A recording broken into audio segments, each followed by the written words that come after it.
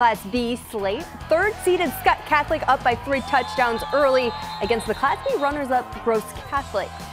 And despite this fiery halftime performance, shout out to Skutt's baton twirlers, second half action cools off a little. Late in the third quarter, quarterback Bennett Turman pulls the handoff and takes it 12 yards downfield to make it first in goal.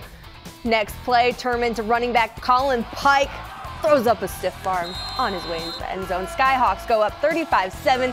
Skutt wins 42-14, moves on to the second round against Blair.